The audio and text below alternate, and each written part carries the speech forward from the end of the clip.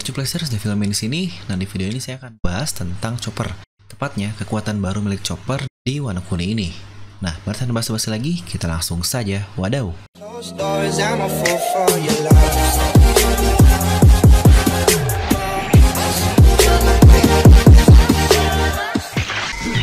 Seperti biasa, sebelum mulai ke video ini, jangan lupa untuk subscribe dan juga nyalakan bel notifikasinya ya. Agar video review Nomi langsung muncul di HP kalian. Serta pastikan kalian menonton video ini sampai habis, jadi tidak ada informasi yang miss dan juga yang terlewat. Mungkin karena kalian cukup suka jika membahas tentang kru dari Luffy ini. Mari untuk saat ini kita akan bahas kekuatan dari dokter kapal kita ini, yaitu si lucu Tony Tony Chopper. Nah, kita pun tahu, Chopper adalah salah satu dari pemakan buah iblis juga, atau lebih tepatnya user dari buah iblis. Dia memakan buah iblis tipe Zoan, yaitu Hitohitonomi tipe gorila.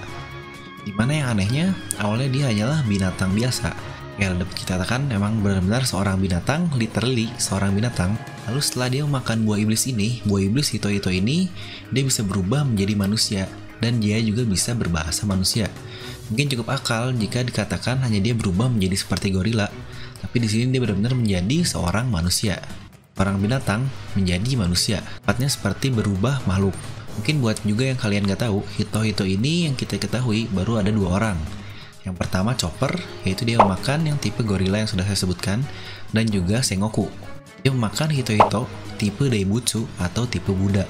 Nah lalu yang cukup aneh juga dari Chopper ini adalah kita tahu selama ini transformasi dari Zoan itu hanyalah tiga, yaitu mode manusia, lalu mode binatang, dan mode campuran di mana untuk chopper inilah perbedaan dari tiap modenya.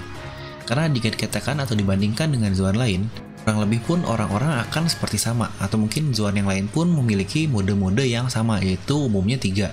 Walaupun mungkin ada yang lebih expert seperti Lafite dan juga Marco, di mana mereka hanya bisa mengubah sebagian dari tubuhnya saja. Yang kita pun tahu itu hanyalah bagian tangan yang mereka gunakan untuk terbang. Walaupun entah apakah itu karena makan buah iblis yang dapat terbang saja yang dapat melakukan hal seperti itu, Di mana untuk yang lainnya seperti Zoan yang lain hanya perubahan sebagian saja. Karena kita pun belum pernah melihat pengguna lain yang berubah seperti itu, seperti mungkin kepalanya yang berubah menjadi binatang dan yang lainnya enggak. Mungkin beda kasus seperti buah smile yang ada di Wano Kuni, karena itu hanya bagian tubuhnya saja yang berubah dan dia pun tidak dapat berubah menjadi manusia normal. Kan Pel pun yang dikatakan komandan yang ada di Alabasta ini tidak bisa mengubah tangannya saja, dia harus berubah menjadi mode binatang atau mode campuran untuk merubah menjadi terbang. Dan kita pun tahu, perubahan dari chopper ini sangatlah banyak. Dikatakan dia mempunyai 7 perubahan wujud, yang bahkan Luffy sampai senang. Nah, jadi sebelum time skip, dia membutuhkan satu Rumble Ball agar bisa berubah ke tiga transformasi lainnya, yang bentuknya pun sangatlah berbeda-beda, seperti Horn Point, Arm Point, dan juga yang lain-lain. Lalu di Rumble Block kedua, itu akan mengacaukannya jadi dia tidak bisa mengontrol perubahan yang dia inginkan. Dan jika dia memakan Rumble Ball yang ketiga, dia akan berubah menjadi Monster Point tanpa bisa mengendalikannya. Kita pernah melihatnya di NS Lobby ketika dia mengalahkan Kumadori, sangatlah sangat-sangat imba sekali, namun dia tidak bisa membedakan mana musuh, mana juga teman. Dan setelah time skip, dia hanya membutuhkan satu Rumble saja untuk berubah menjadi Monster Point. Dengan kesadaran penuh, dapat kita artikan dia sudah bisa membedakan antara teman dan musuh, walaupun hanya berlangsung 3 menit saja. Nah, jadi mungkin Rumble Ball ini dikatakan dia adalah sebuah pil yang dapat mengubah gelombang atau mungkin disebutnya sebagai gelombang transmisi dari buah iblis ini, sehingga dapat mengacaukan efeknya dan chopper ini dapat mengontrolnya hingga dia bisa berubah ke seperti itu. Atau mungkin dalam artian lebih saintifiknya adalah memodifikasi gelombang buah iblis agar dapat berbentuk berbeda. Seperti yang sudah kita lihat dari chopper, mana dia bisa mengubah bentuk-bentuk dari campuran antara manusia dengan binatangnya. Seperti contohnya arm point ini adalah bentuk manusia, namun dia mengambil kuku-kuku dari bentuk binatangnya.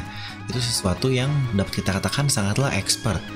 Jadi menurut saya, itu alasan kenapa Chopper dapat mengontrol perubahannya. Dan yang lebih hebatnya, dia bisa mengatur itu setelah time skip tanpa membutuhkan Rumble Ball lagi. Jadi dia sudah mempunyai 6 perubahan wujud tanpa Rumble Ball dan plus 1 untuk berubah menjadi Master Point. Dan karena kita tahu di Wano Kuni di mana banyak sekali Zoan yang ada di sini, maka akan pas juga jika kita bicara tentang kekuatan Chopper ini. Lebih tepatnya, Chopper ini adalah seperti master dari Zoan karena dia mengontrol lebih banyak dibandingkan Zoan pada umumnya. Nah, jadi mari kita bicarakan tentang Zoan dahulu. Pertama, kita pernah diberitahu oleh krokodil bagaimana seorang Zuan ini awakening. Satu, bentuk tubuhnya yang semakin membesar, seperti beberapa monster penjaga di Impel Down. Lalu yang kedua, kecepatan penyembuhan yang luar biasa cepat. Mereka baru saja dikalahkan seperti itu, yang cukup parah juga, namun mereka masih bisa bertarung dan bergerak dengan begitu cepatnya. Lalu yang mereka memiliki ketahanan yang luar biasa. Mungkin Jack Sitandus pun salah satu user Zoan yang sudah awakening, Makanya dia bertahan begitu lama ketika menyerang pihak Zhou selain karena kuat tubuhnya pun dapat efek awakening yang sudah saya sebutkan di atas. Jadi sudah dia memiliki tubuh yang lebih kuat, dia pun memiliki daya tahan tubuh yang luar biasa. Walaupun sebenarnya saya masih cukup bingung dengan monster Impel Down ini karena dia terlihat hanya dalam bentuk monster. Apakah mereka benar-benar makan buah iblis? Yang dapat kita katakan mereka adalah manusia pada umumnya dan diberi buah iblis Zoan seperti itu? atau mungkin mereka seseorang yang sudah disterilkan oleh ilmuwan-ilmuwan dari Marin dan juga pemerintah agar tetap menjadi seperti itu. Mungkin seperti hukuman agar mereka tidak dapat berubah menjadi manusia lagi dan mereka diubah menjadi monster seperti itu. Atau mungkin memang awalnya mereka sebuah monster kita pun tidak tahu atau mungkin belum jelas dari ingat kata-kata krokodil bahwa mereka semua itu adalah Zoan nah lalu karena seperti itu kita akan sedikit membahas tentang haki mungkin perkataan Rylek bahwa semua orang bisa memiliki haki karena itu semua berasal dari dalam diri mereka secara alamiah. Jadi dapat dikatakan semua orang di bus ini memiliki haki, namun orang tersebutlah yang membuat atau harus mengekspor dirinya sendiri agar dapat mengaktifkan haki yang sendiri. Mungkin lebih kasarnya jika di Naruto haki ini seperti cakra dan di Dragon Ball dia seperti ki. Mungkin jika kita ambil definisi Awakening Zuan adalah kekuatan yang dimiliki oleh setiap user Zoan untuk meningkatkan kekuatan, ketahanan, dan penyembuhannya, di mana semua user memilikinya namun tidak menyadari bahwa mereka dapat mengaktifkan hal itu. Mungkin kurang lebih definisinya sangat mirip dengan haki ini, karena Rai pun berkata haki seperti itu, kekuatan dimiliki setiap orang, namun tidak dapat semua orang mengaktifkannya. Nah, ini kurang lebih miriplah di antara haki dan awakening Zoan ini. Kita pun tidak tahu untuk monster point dari chopper ini karena dia hanya mempunyai durasi yang sangat sebentar, yaitu hanya 3 menit. Bayangkan kalian berperang atau dalam pertarungan hanya dalam 3 menit, kalian bisa apa hanya dalam waktu sebentar itu.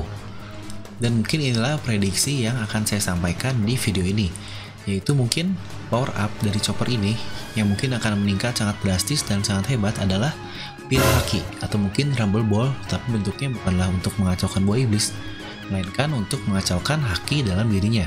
Lebih tepatnya, agar haki ini lebih keluar atau lebih keluar potensi dari tubuhnya dan dapat lebih hebat. Seperti yang saya sampaikan di awal bahwa Rumble Ball adalah untuk mengontrol buah iblis dan Rumble Haki atau mungkin Pil Haki adalah untuk mengontrol Haki. Di mana mungkin seseorang saya chopper yang dapat mengontrol gelombang buah iblis yang mungkin hanya sedikit ilmuwan yang mengerti dan tentu saya tidak terkecuali Dr. Vegapunk karena dia adalah seorang ilmuwan yang paling pintar. Maka untuk sesuatu yang lebih simpel seperti haki ini yang semua orang memilikinya, pasti akan lebih bisa dikontrol lagi. Karena buah iblis yang tidak semua orang punya pun, Chopper dapat mengontrol perubahannya.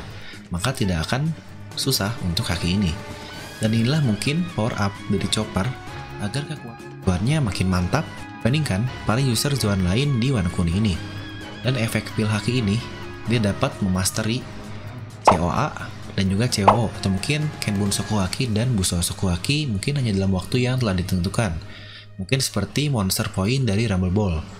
Namun saya berharap tidak hanya 3 menit lah, agar chopper ini lebih bisa mengeksplor kekuatannya lebih lama lagi. Karena monster point hanya 3 menit pun ya udah gitu saya. Apalah kurang kurang imba kalau kata saya.